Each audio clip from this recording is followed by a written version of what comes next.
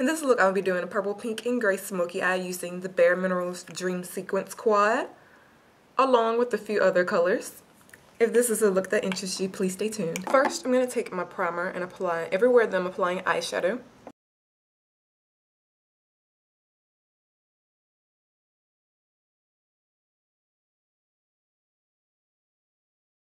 First, I'm going to take my crease color. I'm using a 224 by MAC and Bare Minerals Fleurette Blush.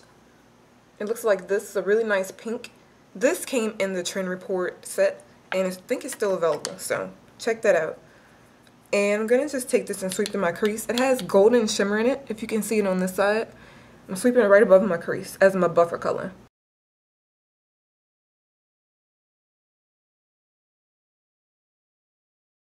For half of my lid, I'm taking Après-Ski by MAC. This is from the MAC Chill collection. If you don't own this, just take any matte gray that you have.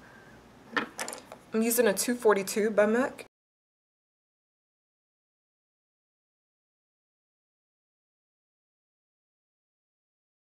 Right next to that, I'm taking Myth by Bare Minerals, which is a loose shadow. It's like a gray with purple flecks of shimmer, which will go perfectly with this look. I'm flipping my brush over and I'm packing this right outside of that.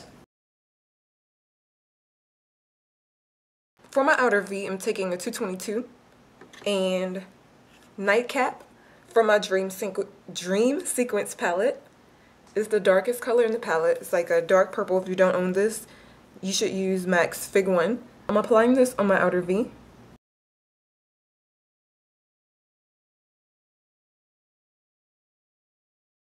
To darken that up even more, I'm taking Carbon by MAC.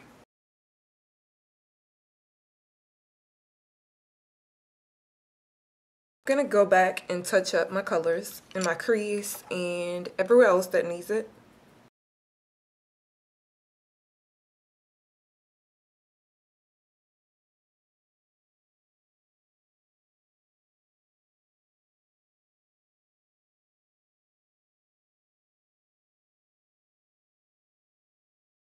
As my brow highlight, I'm using the usual, my Medium Plus by MAC, along with a Kirkland brush. I'm applying some primer on my lower lash line. I'm using a 214 brush by MAC for the entire length of my lower lash line. I'm taking Carbon on the outside. I'm taking Nightcap inside of that and then I'm taking Fleurette Blush inside of that. And then around the edges of everything I'm going in with Bourjois which is this color right here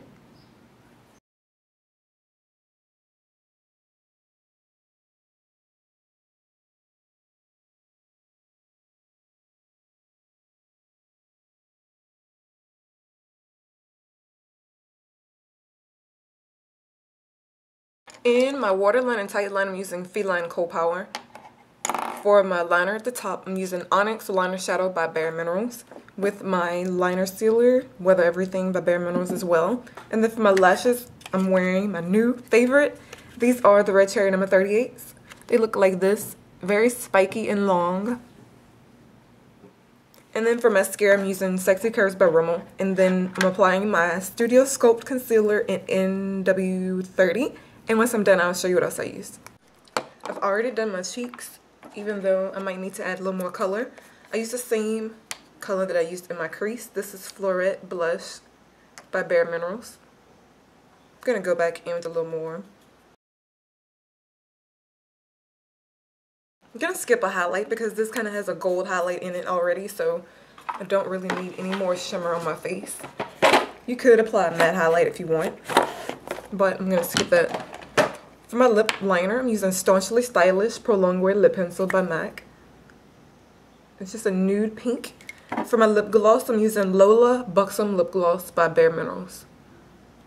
And it's just a nude gloss. A nude pink.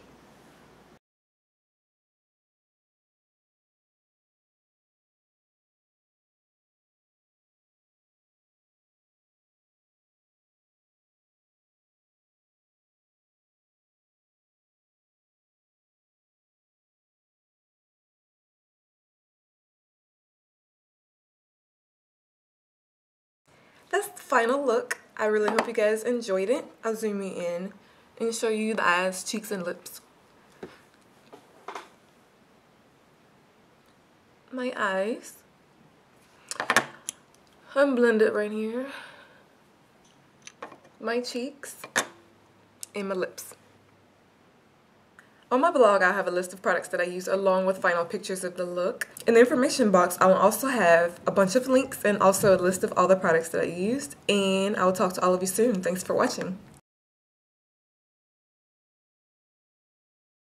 Also in the information box, I will have a bunch of links and information and also a list of the products that I used. And I'll talk to all of you soon. On my blog, I have a list of the products in uh, in this look, to be doing a purple and gray smoky eye. Mm -mm.